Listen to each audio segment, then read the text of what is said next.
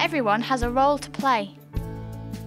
We support all students to take part in PE to getting to know what they like, what they enjoy, what sports they're good at, what skills they've got and what skills they want to develop.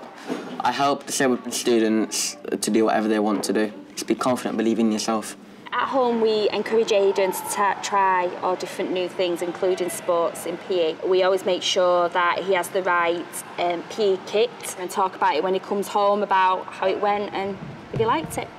As a deputy head, uh, we fully support uh, the PE department in the new initiatives that they bring into school, and we facilitate training for all staff to enable the curriculum to be as fully inclusive as possible. It's, it's everybody's responsibility. responsibility. It's everybody's responsibility. Yeah.